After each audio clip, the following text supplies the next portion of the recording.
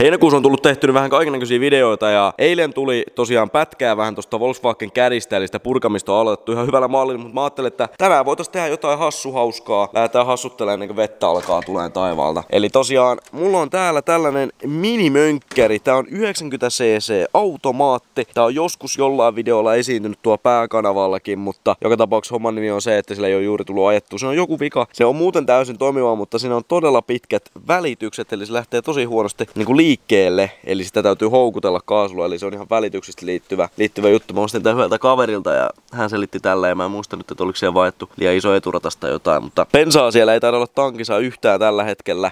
Ja tässä on tosiaan sähköstartti ja kaikki, niin sen saa kyllä sitten varmaan käyntiin, mutta bensaa se tarvii vaan ensi, ensi alkuun vähän. Lähdetään sille liikenteeseen. Ei sinne paljon tarvi bensaa, jos tuossa vähän testailla ympäri kylää vaan. Kylää. Ei lähdetä kyllä kylille, mutta ympäri pihaa jos testailla ei tarvi paljon bensaa. Tuo on ollut viime päivinä vähän arvaamaton keli, eli välillä on tullut vettä ja välillä on ollutkin sitten ihan auringonpaistetta ja Jaha, puolet pensasta ohittekin sitten. Tää ryypyn päällä ja avaa virtalukkoa ja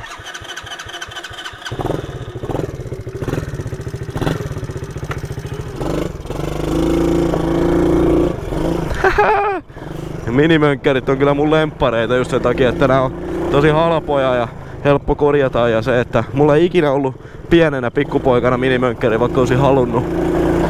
Et jos äiti tai iskä katsoo tää video, niin ei tarvitse pohtaa mieltään, mutta olisin mä aina halunnut, mutta ei nää oikein ikinä silloin, silloin kun mä olin nuori, niin ei oikein ollut, ollut mitään tämmösiä ajoneuvoja. Että kun ei silloin vanhemmat tai lähisuku niin oikein harrastanut näitä, niin kyllähän se ymmärtää. Mutta nyt sitten vanhemmalla iällä niin tuli, tuli kun armeijasta pääsin, niin osti yhdet kaverita kolme tällaista. Että oli valkoinen ja punainen ja sitten tää musta. Eli ostin kolme näitä, että sitten voi, voi mun serkut, pienemmät serkut, 10-vuotiaat vois vähän ajella. Ja mä voisin tehdä vähän, vähän videoa joskus ja muuta. Ja nykkö sammu sit se vehi. Eli tota, joo, mutta nämä on semmosia niin aivot narikkaan projekteja yleensä nämä mini, minimönkkärijutut, että, että näitä ei tarvitse paljon stressata, että nämä menis rikki tai että näitä olisi kallis korjata tai muuta, vaan varaosia mulla on hyllyt täynnä ja nämä on helppo korjata ja bensaa ei syö mitään, eli jos haluaa ajella tällä vaan vähän pihaa ympäri, niin tällaiseen käyttöön on aivan mainiota vehkeitä. Et ei sillä niinku, sillä mitään, mitään ihmeellisempää. Eipä näillä yleensä muuta tuu tehtyä kuin kavereen kanssa tässä hallin pihalla vaan niinku penkkaa vähän levitettyä talvella tai sitten nyt kesällä niin tota, vähän sutia vaan.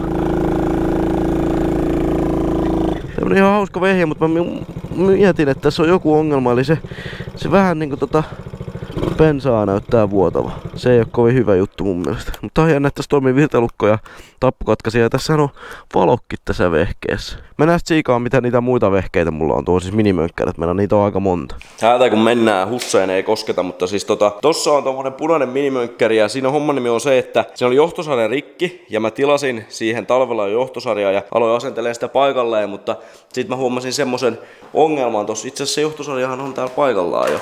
Mutta tota, siinä olikin semmonen hommaan nimi, että tästä on starttimoottori rikki. Niin sitä ei saanut toimimaan, eli kun kokeili suoraan niin kun laittaa virtaa tänne, niin tää ei edes naksahtanutkaan tää niin startti, tai se ei pyörinyt toisin sanoen. Eli tossa oli joku, joku semmonen juttu, että kun laittoi virrat päälle, niin se oli jotenkin oikosulussa, eli alkoi vaan johdot lämpiää niin tosi paljon. Onneksi ei syttynyt palamaan, mutta startti ei toiminut, niin se oli ihme juttu. Ja sitten täällä mulla on tämmönen ihan, ihan täysin varaosa peli, eli mä en muista nyt, että oliko tästä sitten lainattu starttia tuohon toiseen vehkeeseen vai mikä tässä oli homman nimi, mutta tästä pönkkäristä ei ole, ei ole sillä mitään tietoa. Tässä on katteet aika huonossa kunnossa ja toinen rengas on ainakin puhki. Eli tääkin täytyisi jossain, jossain kohin kunnostaa, mutta tää nyt ei ole kovin lupaava. Täällä ei niinku jarrussa ole mitään pitoa ja et, etujarrut nämä puuttuukin, ei kun tässä ei ole varmaan ikinä ollutkaan. Joka tapauksessa tää on ihan, ihan täysin rovu vaan, mutta mä en tiedä mikä ruohonleikkurin kaasari tai tää on, että tässä on niinku filtteri on tässä sivussa. Aika törkeä, mutta tota, en tiedä. Nämä on ihan hauskoja projekteja, niitä voi joskus jouluna tehdä, jos jaksaa, mutta ei niistä kannata mitään ressiä ottaa. Tää oli tällainen lyhytmuotoinen minimönkkäräinen esittely kautta testausvideo ja pitäisi nämä vehkeet lyödä nippuun. Meillä tää punainen olisi lähdössä myyntiin sitten, kun mä saan, se, saan siihen jostain starttimoottori, mutta se on täällä ollut suljettujen seinien sisällä, niin vähän on